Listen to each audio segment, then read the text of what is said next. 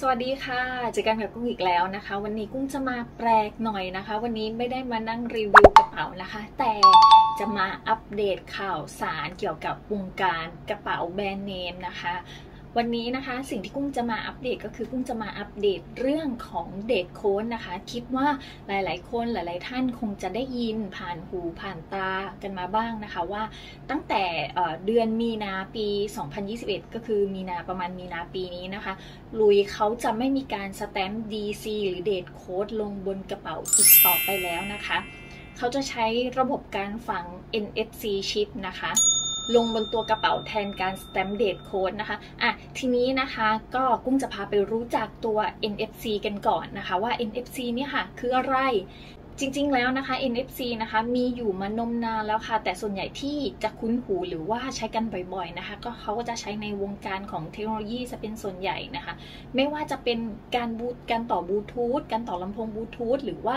การถ่ายโอนรูปจากโทรจากกล้องดิจิตอลนะคะ ลงในโทรศัพท์หรือว่าลงในอย่างอื่นนะคะ แล้วก็ถ้าเป็นวงการแวดวงแฟชั่นนะคะ ที่เคยเห็นก็จะอาจจะมี sneaker บางรุ่นนะคะของ n i กี้นะคะเขาก็จะฝังตัว NFC chip นะคะ ติดไว้ที่รองเท้า เพราะว่าถ้าเกิดเราเอาไปสแกนนะคะ เรามือถือนะคะที่มีเขาเรียกว่าอะไรมีโปรแกรม NFC reader นะคะ ไปสแกนนะคะ เราก็จะเห็นข้อมูลเพิ่มขึ้นมานะคะแล้วก็วงการฟุตบอลโลกนะคะเขาก็ฝังตัว NFC chip นะคะ ลงในลูกฟุตบอลของเขาเหมือนกันนะคะ ส่วนในแวดวงกระเป๋าแบรนด์เนมนะคะ ก็หลุยนะคะ ก็ได้นำตัว NFC ชิปเนี่ยค่ะ มาฝังแทนการสแตมป์เดทโค้ดลงที่กระเป๋านะคะ แต่ว่า คือหมายถึงว่ากระเป๋าที่เราซื้อที่ไม่มีเดทโค้ดหรือ DC นะคะ เราก็สามารถข้อมูลเองได้เบื้องต้นนะคะ ซึ่งข้อมูลที่เราหาได้นะคะ เราจะต้องไปโหลดตัว NFC โปรแกรมที่มี NFC เป็น leader นะคะ มาอะเดี๋ยวถ้าเกิดใครอยากรู้ว่ามีโปรแกรมไหนบ้าง เดี๋ยวกุ้งพาไปดูนะคะ อย่างเช่นโปรแกรมนี้นะคะ แล้วเราก็สามารถใช้ตัว NFC leader เนี่ยค่ะ ก็ไปสแกนกับกระเป๋าเรา แล้วเขาก็จะขึ้นหน้าตาเป็นอย่างนี้มาให้เรานะคะ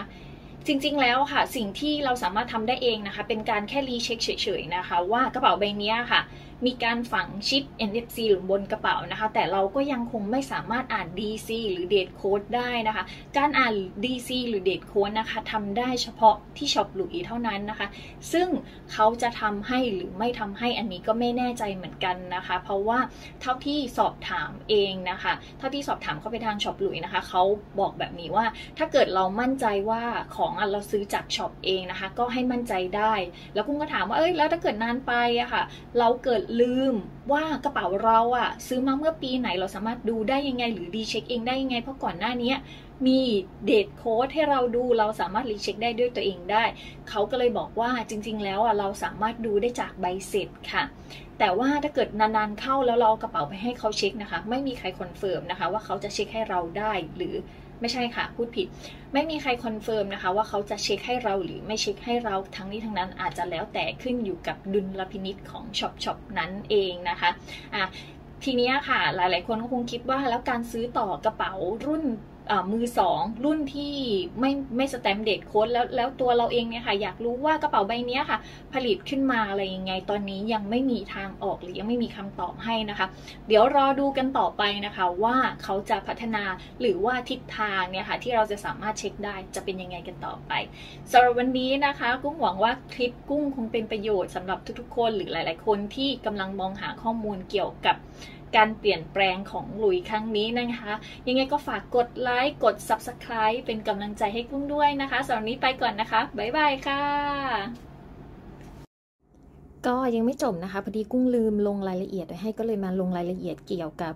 NFC แอปพลิเคชันไว้ให้นะคะ อันนี้ก็เป็น 1 แอปนะคะที่สามารถดาวน์โหลดได้นะคะ ชื่อว่า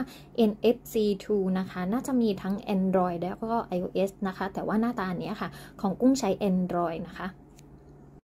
หลังจากเราได้แอปเข้ามาแล้วนะคะ เราก็กดเข้ามาในตัวหน้าตาแอปก็จะเป็นประมาณนี้นะคะ สิ่งที่เราให้เลือกนะคะ ถ้าเกิดเราอยากจะไปอ่านค่าบนกระเป๋าหรือใบนั้นนะคะ ให้เราเลือกช่องบนที่กุ้งทำสีแดง ๆนะคะ นั่นก็คือช่อง read ค่ะ เมื่อเราทำการเปิดแอปนะคะ เราก็สามารถเอาแอปนะคะไป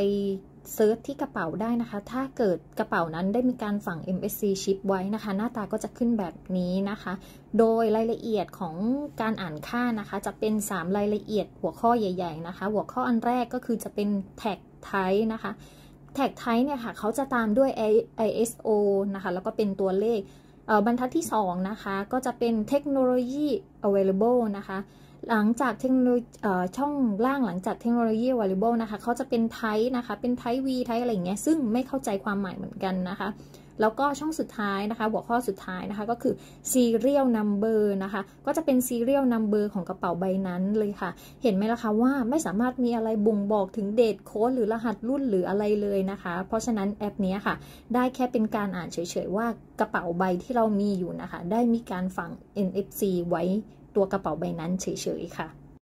ทีนี้นะคะหลายๆ คนก็คงจะเห็นคลิปวิดีโอนี้นะคะ ที่เผยแพร่กันในโลกอินเทอร์เน็ตนะคะ จริงๆ แล้วกุ้งอะอยากจะให้เครดิตเจ้าของคลิปด้วยเหมือนกัน แต่ว่าไม่แน่ใจจริง ๆ ว่าต้นกำเนิดของเจ้าของคลิปคือใครนะคะ